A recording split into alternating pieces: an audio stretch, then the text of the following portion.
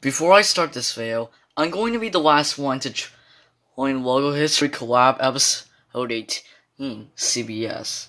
Anyways, hello everyone, Z here, and welcome to my new series called Logo History on Logopedia, but this time I'm going to do CBS. This article is about the American Television Network. For its former parent, CBS Corporation.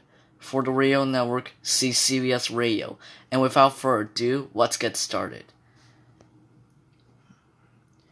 1941 to 1951, we have a C, and we have a B, and we have an S.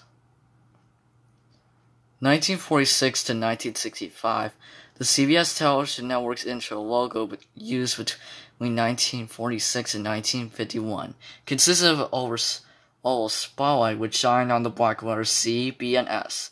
The word mark would be later used on uh, Eye on the, Eye in the Sky logo until 1965.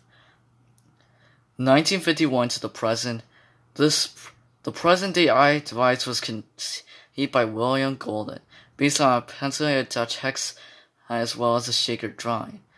The Eye made its broadcast debut on October 20, 1951.